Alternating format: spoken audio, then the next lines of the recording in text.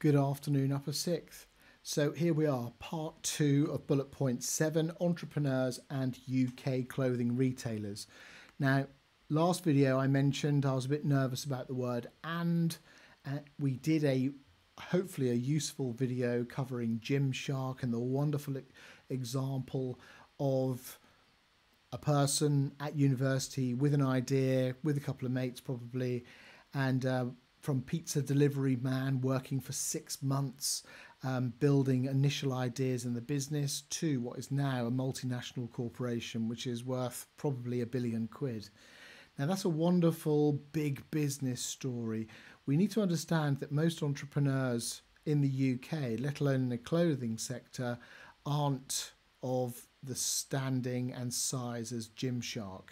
It could be, for example, two brothers um, who decide to set up a business selling their own designs, t shirts, things like that, and they've called it Rapanui. Um, and you know they're really interested in the environment. They're interested in sustainable fashion, as we can see by the picture. Um, and they're they're trying to talk about traceability and just-in-time production methods and all of those sorts of things. The reason I've chosen these guys is because they also support other business startups. So if I want to print a small run of t-shirts, maybe 20. Um, I can send over the design to these guys and they will make them probably within 48 hours and ship them out to me. There's a minimum order of 60 quid. Now, if I just want to dip my toe into the market, think about that um, product life cycle, my R&D stage. Um, I don't want to possibly commit everything to my business venture at the moment. I might need my day job delivering pizzas possibly um, to start my business off. So I can actually send it over to these guys. They can talk to me about traceability. They can talk to me about environmental, um, environmentally friendly um, textiles, for example. So maybe this adds value to my brand, and I can put this in the blurb about my t-shirts. So not only um, am I dropping seeds, not bombs. This is their design. Don't try and copy it. Um, but also I can talk about the environmentally friendly element of my design. I just out, outsource the um, sourcing of the cotton and the t-shirts and the sweat tops to these guys and they will get them from their supply chain okay so it's a low risk way in some ways of me testing the marketplace these guys will help with that but they're a tiny business absolutely tiny i haven't gone into their accounts but uh, we can sort of tell that from their website. Okay, so in the blurb from um, Mr. Marcuzzi, um, he did a case study on hookandeye.com. Now, probably for the same reasons, actually, I've decided to go with these guys instead, but it's actually a really good case study, so it's worth mentioning. Um, so hookandeye.com, I won't put it up on, on the slides, but they are a manufacturer of clothing. Now, if you look at the people who they work with and they list some of the fashion clients they have, they're clearly people that have just got an idea and they want to run with it.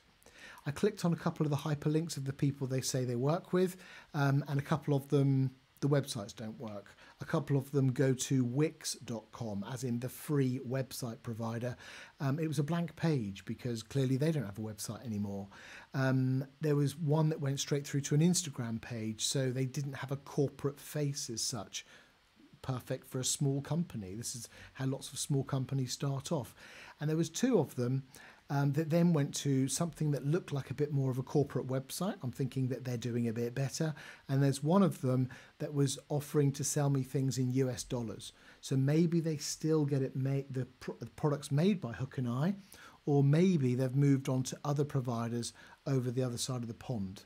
Okay, so we can see how sometimes these smaller manufacturers that are willing to work with the more niche business startups, you know, this is where the entrepreneurial side of it is. So we're thinking about entrepreneurial supply chains here, as well as the entrepreneurial brands like uh, Rapanui, for example. Okay, so we'll move on. So here's a case study that I, excuse me, um, sort of made up based on a couple of case studies on Rapanui that I found online. At this point, you can pause and you can read. Okay, you won't find this online because I've, as I say, I've taken a couple and merged it into one. Look for the examples of entrepreneurship, moving from entrepreneurs to leaders, the motives, the barriers to entrepreneurship. How, how do they demonstrate things like resilience, spotting a gap in the market, for example, self confidence, being persuasive?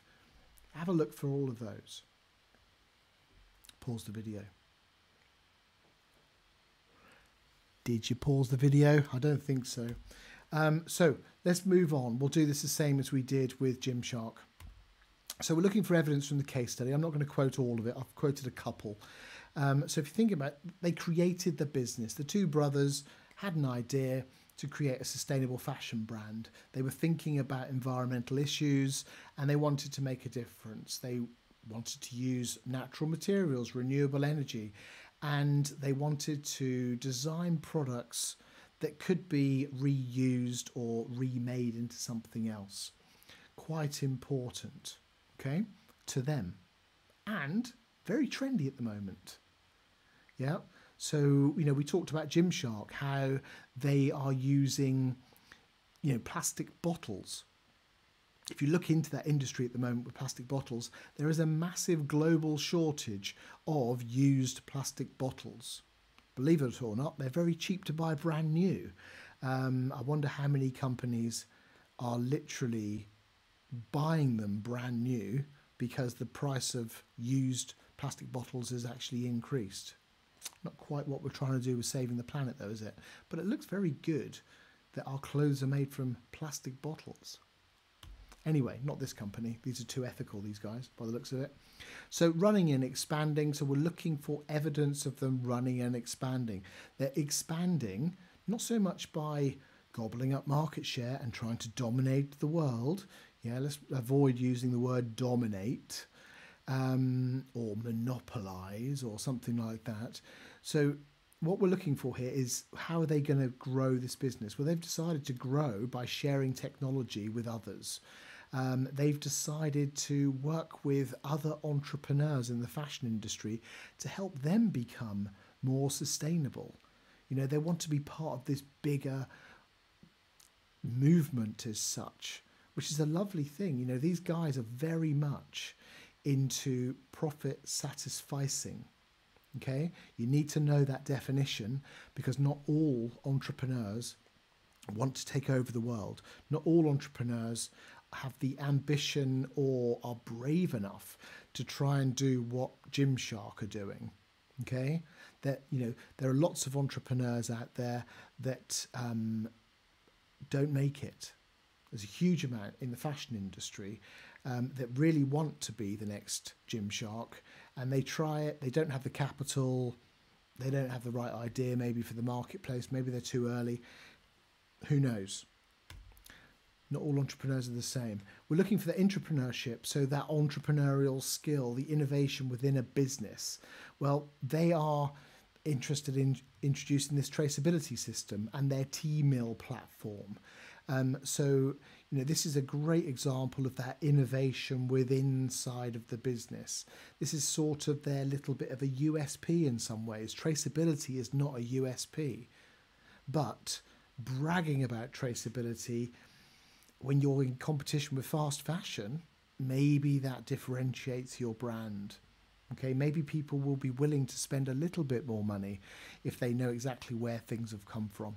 Okay, look at the Hotel Chocolat example where they own their own um, cocoa plantations. They own their own refineries. They, you know, they own a hotel, funnily enough. Um, so if you think about it, the story behind their own cocoa plantation. Now these guys are running a small shop, um, helping other uh, other small businesses and people that just want to print their own T-shirts. They're not going to be going out and buying themselves a cotton plantation um, and all the other stuff in between in, in the supply chain. But talking about traceability has been really common in food for years. since horse meat scandals with Tesco's and other supermarkets. So why not with this? The Cotton Alliance that we see on Primark's clothes. Does that really mean anything to people? Are we just sensitive? Are we just sorry numb to this? Yeah, we've got fair trade on the window of um, of um, Rapanui's win- uh, uh, shop. Does that really inspire me to go in and say, yes, this is fair trade cotton, I must buy it?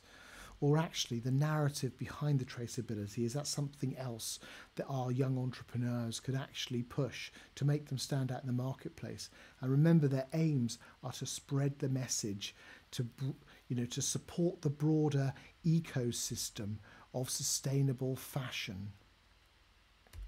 So, barriers to entrepreneurship, money.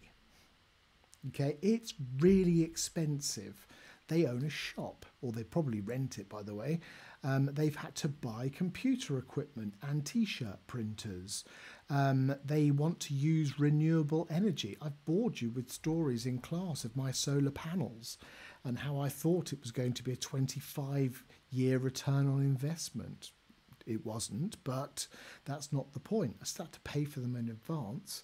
Now, these guys want to be more environmentally friendly. That might mean that they're at a cost advantage against people that don't really care that much about the environment. It is cheaper for me to order purpose made, bespoke made, sorry, t shirts, probably from India, than it would be from these guys. I'll have to wait a bit longer for them probably, um, but I can soon get someone in Bangladesh to very quickly knock me up some t shirts. I'm sure they've got a website. We're thinking about risk. Now, these guys have addressed that risk because they sort of make to order. They can make in small batches. So, in some ways, if consumer trends shift, they're not going to be stuck with a load of stock quite a lot of their t-shirts will be plain white t-shirts and then they'll put them in a machine and it'll suddenly print stuff on the front of them. Um, however if the market shifts away from environmentally friendly t-shirts for example um, they have a shop they have rent they probably want a wage to be able to pay their mortgages and their bills. So even though i've mentioned profit satisficing it doesn't mean they can just survive in no, no matter what. So we have to think about that they are still vulnerable to uncertainties in the marketplace. If there's an economic downturn and people just want cheap t shirts, they might stop buying them from them. So, if we're thinking about other motives, clearly I like that t shirt. Um, entrepreneurial motives and characteristics. Remember, motives could be linked into motivational um, theory as well, depending on the question. Make sure you don't go off on a mad rant about motivational theory. So we're looking at those characteristics that are required and we can see that from the from the case study they've got vision, they're adaptable, problem solving, they're resilient, they're willing to take risks with their own capital. There's two brothers from the same family. I think, you know, in, in lots of ways, both of them are willing to take this risk together, which is quite nice. Yeah, but they definitely demonstrate some of those characteristics. We're thinking about those motives, why people set up business, and, and you know this for lots of different reasons. Financial, non-financial links into the motivation theory again. But if we're thinking about this, I've mentioned profit satisficing. It's definitely about this company. Look in the case study, look for the real motives. Don't just presume that everyone wants to take over the world and become rich on a yacht. Even though, with British weather at the moment, quite like the idea of that in the Caribbean. However, non financial motives, this case study screams it. Yeah, they want to work towards a world without waste um, you know, and it's beyond the financial success, even though they need enough money to pay the bills and to live. Okay, now if they suddenly start making a lot of money from this, I'm sure they won't complain. However, profit satisficing, you will know people in your social or family networks that have had a very successful professional career. They get to about 55 and they say, Do you know what? I don't want to work 80 hours a week anymore. I'm going to work three days a week, maybe from home, and for the rest of the week, I'm going to play golf or spend time in the garden or whatever they're going to do. Now, they still have that professional life, but other things become more important. These guys, well, they're not quite to that stage in their life by the looks of their pictures, um, photos, sorry, but actually they're focusing on other things that are more important. Get yourself on social media, talk about environmental impact, encourage others to manufacture clothes in a more environmental way. Just in time production methods will minimize waste, for example. It's not only a sensible thing because you're keeping up with demands in the marketplace, it is a way to reduce waste. Why make a year's worth of clothes for a trend and then get stuck with stuff? And then do what some of the luxury brands do and just set fire to it. Not very good for the environment. Um, however, we understand economies of scale. And if these guys suddenly have to, you know, print individual T-shirts and they want to make a thousand of them, um, then they're probably, you know, they're going to be swearing about those printers. They don't look very quick. So there's going to be a certain amount of capacity utilization here. And where is the tipping point before they go a little bit more mass production? Not sure. How ethical will they be if suddenly lots of people are dangling lots and lots of money in front of them? I don't know. I think I think my my inner child, my naive child, hopes that they're really in it for the planet. I really hope so. So here are here are the I was about to say lads, a bit condescending, um, but we've got fair trade in the window. Love this. Um, we've got fresh ground coffee. There's another reason to uh, come in, maybe for a cup of coffee. Um, there's a furniture shop in the village where I live. Um, they clearly can't sell enough furniture, so they opened up a cafe. Uh, they sort of come, you know, they help with revenue and they help bring people in as well. Um, you see a lot of this type of thing. So moving from entrepreneur to leader, and we've got two people that run a business together. Uh, I didn't see anything on their website about uh, a social media team, a HR department, a finance department. I haven't looked at their company accounts. My gut feeling is this is actually a very, very small business. Might be wrong. Um, so they're thinking about, they're thought about starting up. They want this they're leading their own business. Maybe they're motivating each other. They're leaders in their own right, aren't they? But at this stage, we're not really talking about leading to do with their business. I think the aims, reading the article and what's on their website and about the interviews they've had, is about influencing and leading others in the industry, trying to make a difference with environmentalism. It's a different type of leadership. It's being that inspiration to others, which might be um, where the leadership characteristics come in here. Where before they were interested in starting up a business, being environmentally friendly, now they're hoping to lead and influence others. Risks of overtrading, I've sort of already mentioned it in context with these guys. Um, this is one of my predictions, but uh, one of many for the exam paper. Um, really with these guys because it's such small batches they're using batch production maybe even just one or two at a time they're you know it's very much just in time. So yes they have blank t-shirts. I'm sure they've got some of those in stock. And then they will print to order small batches. I upload my design they print it for me they ship it to me.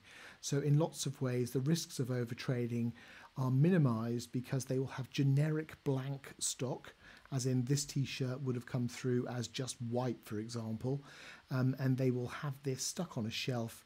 And then if you want to put this graphic on there they'll just print it for you.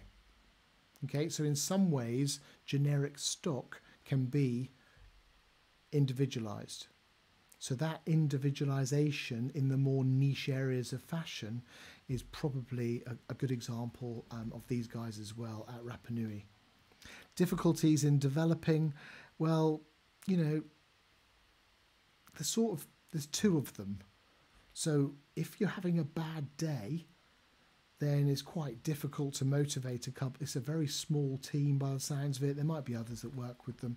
I apologise, lads, if if you've got a, a huge team, and you know, there's two brothers as well.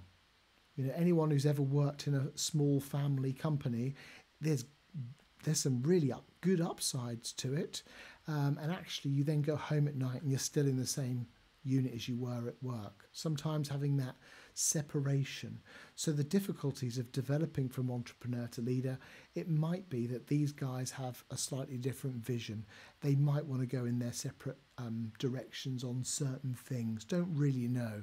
Uh, not, a, not enough information there. But if you're thinking about it, from the perspective of I need to run the business to make some profit for my profit satisficing, and then maybe you're then trying to achieve your other leadership aims of leading and inspiring others, you still need to be able to generate enough cash and profits to run your business, or you won't be able to achieve. So that's maybe where the difficulties are. Maybe there's only two of them. Maybe they've got limited time, and how much time can they have to develop and achieve their leadership aims? So, some conclusions overall. Um, well, there's huge amounts of entrepreneurs because lots of people look at things like Superdry, for example, and let's face it, Superdry, all they do is shove their name on a t shirt um, as do lots of other companies as well. So clearly, lots of people think if they just stick their name on a t-shirt and do some social media that might influence people, that they're suddenly going to be the next Gymshark. Don't think it's quite that easy, or everyone would be doing it. But there's there is a lot of organisations that go out of business very, very quickly. Yeah. So finding that niche to make you stand out in a marketplace, if it's too niche, you're probably not going to be able to make a living out of it. If you're too mass, who are you going into competition with? So you need that differentiation factor. And is that sustainability? Well, it sounds like that's not so much of a niche anymore. Yeah, so this is a growing niche, and when the multinationals are all over it, then we become numb to it. Look at Rainforest Alliance coffee, for example. It was a really big thing for a while. Now we just expect it. And if it wasn't on the wall when I walk into Starbucks, I probably wouldn't care, to be honest with you. Whereas I might have when there was lots of press around it. Look at fair trade chocolate. Yeah, it's we're so numb to that. Nestle just invented their own fair trade brand. Consumers of Nestle chocolate are none the wiser, um, and maybe they don't care because they just want to eat their chocolate. And there's a little badge on there that says that it's friendly. Okay, so we need we need to think about how these things change with social trends, and also if everyone's doing it, there's no differentiation. So what can you do to differentiate? Okay, so but yeah, there are some success stories in there, and I mentioned the the, super, the Superdry version as well. Um, they started off on a market stall, and we know that uh, obviously from the previous one. So it's exam time. So here's some questions for each one. I'm not going to go through all of them. You decide if it's an 8, 10 or 12 marker. There's a slightly different technique for all of them. So identify the hook in the question, identify the knowledge that needs to be defined in context, and then from the case studies that I've given you in the previous video and this video, pop in, get yourself some evidence, and at least plan some of these. It's up to you if you if you write them, if you write them, and obviously if you're my students, um, I'm more than happy to mark them for you, and we'll go through them either in clinic time or you have a link to my diary. You can book yourself an appointment, and we'll do some one to one in the build up to the exam. Loads of time to do that. We've got weeks and weeks. So, entrepreneur uh, motives, characteristics. There's, there's, you've you've got a number there, and you'll notice from the language in the questions, likely impact, likely limitations. That's an eight marker probably, um, and you know likely benefits. That could be an eight marker or a ten marker. Um, so think about how you want to do this. Okay. There's some re, there's some nice questions there. Repeated it again for Rapanui for you. Um, and same sort of thing, slightly different uh, perspective because of the size and scope of the business. They talk about this circular economy. I've put quotation marks around it. I don't want you to think of this as the circular flow of income. That's not what we're talking about here. They call it the circular economy, and it's a well it's a well um, used term in industry. And but from their perspective, it's it's that leadership stuff. It's it's they want to get out there with a message and influence people. It's not just about selling t-shirts. Yeah, profit satisficing. Hopefully that was nice and useful for you. And uh, thank you for your time. There's one more bullet to do after this, which is on the tiny, tiny um, bullet of distribution methods. Um, those of you that have um, met Miss Bristow's husband, you should collar him, really. Uh, he works with lots of people in fashion, and uh, because of the company he probably works for, I won't mention them depending on who else is listening to this video. Have a good day.